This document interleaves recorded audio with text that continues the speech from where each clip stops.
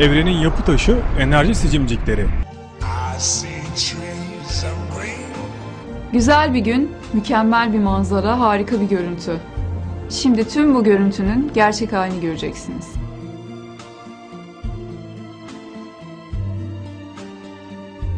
Çünkü madde aslında renksiz ve şeffaf. Aslında dışarıda ışık da yok. Yani her şey karanlık içinde. Ses de yok. Şaşırdınız mı? Şaşırabilirsiniz ama gerçek bu. Görüntüyü alıştığınız haline geri getirelim. İşte oldu. Nesnelerin katı, elle tutulur, gerçek varlığı olduğunu zannederiz. Ama değiller. İşte dünyadaki en gelişmiş elektron mikroskobu Pico ile elde edilen bu görüntüler, atomların elde edilebilen en yakın görüntüsü.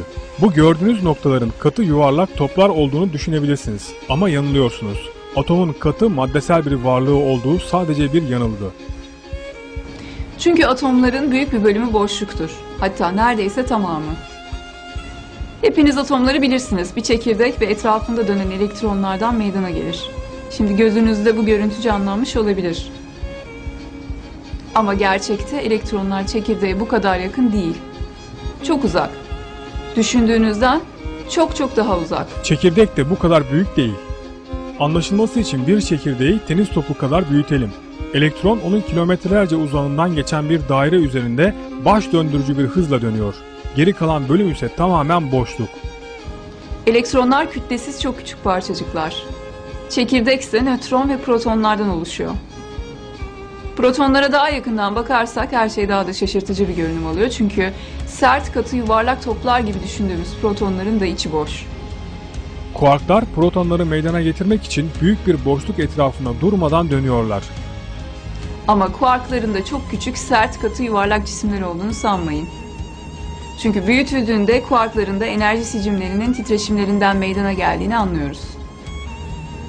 Bu dev boşluklar içindeki yolculuk şimdilik sicimlerde sona eriyor. Maddeden değil, dikkat edin sadece enerji titreşimlerinden meydana gelen sicimler ve dev bir boşluk.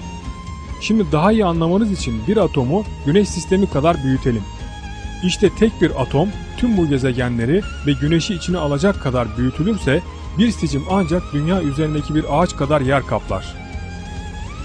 Kısacası tüm evren tek bir şeyden meydana gelmiş. Enerji sicimciklerinden. Bir insanla bir son model araba, muhteşem bir gemi ve bir piyano arasındaki tek fark bunları meydana getiren enerji sicimlerinin farklı titreşmesi. Tıpkı bir kemandan çıkan farklı sesler gibi. Tüm evren maddesel varlığı olmayan muhteşem bir senfoni. Şimdi ekrana tekrar bakalım. Şu an ekranda gördüğünüz görüntülerin tümü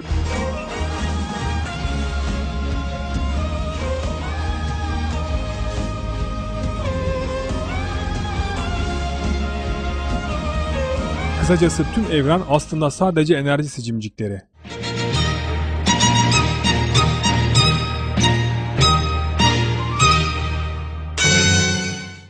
Yerde ve gökte zerre ağırlığınca hiçbir şey Rabbinden uzakta saklı kalmaz.